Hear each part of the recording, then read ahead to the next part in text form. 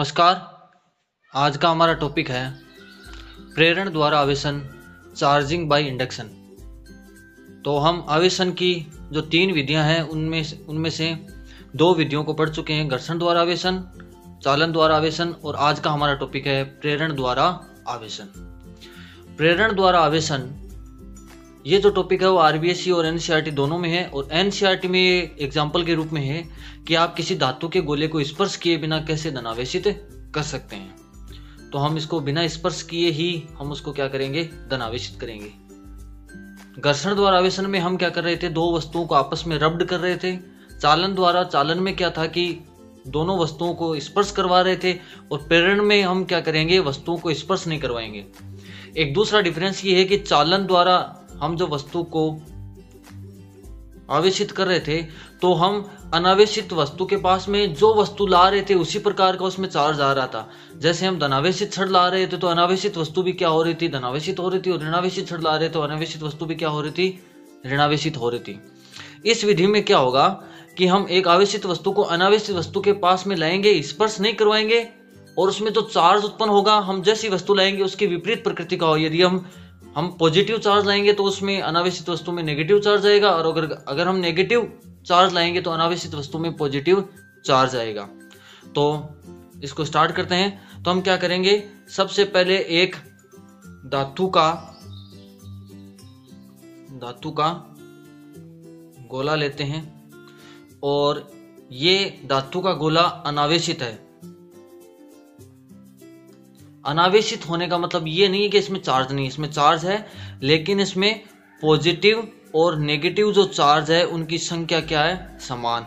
It means इसमें जो net charge है, उसका मान ज़ीरो है। ठीक है?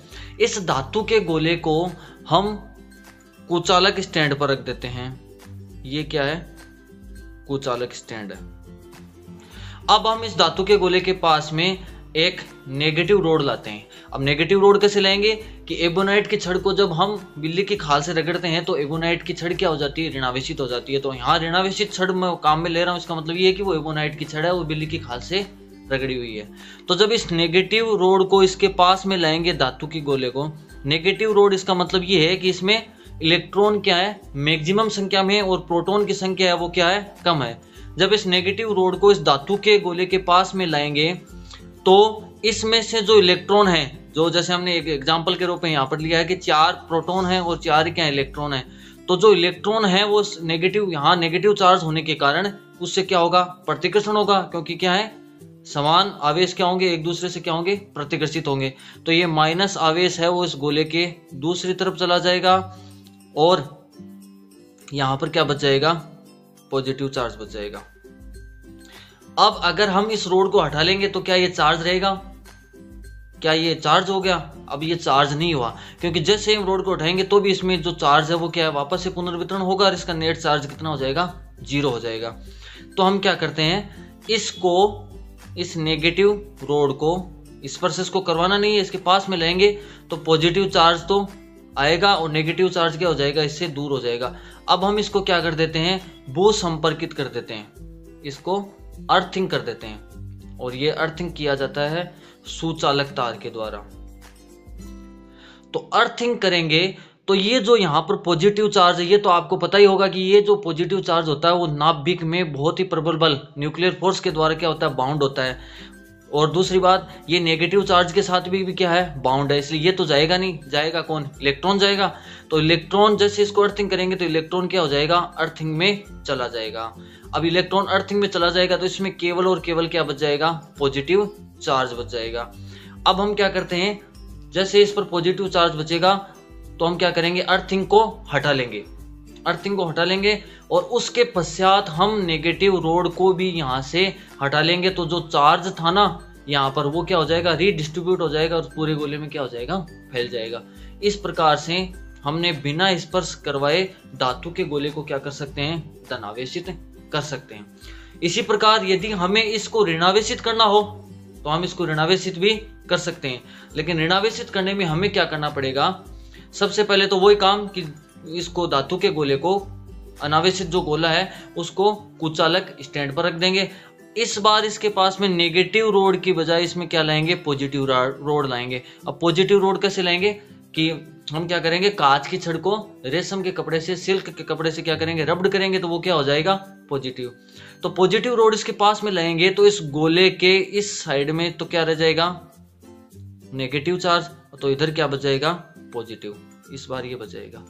अब हम क्या करेंगे? इस गोले को भू संपर्कित करेंगे, इसको अर्थिंग करेंगे। अर्थिंग करेंगे तो यहाँ पर तो है नेगेटिव चार्ज और यहाँ पर है पॉजिटिव चार्ज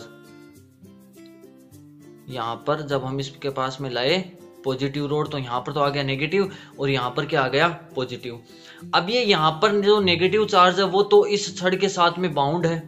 ये मुक्त तो है, यहाँ पर ये फ्री ये क्या है? फ्री है, यहाँ से आने जाने के लिए। लेकिन ये इस पॉजिटिव चार्ज के साथ में क्या है? बाउंड है।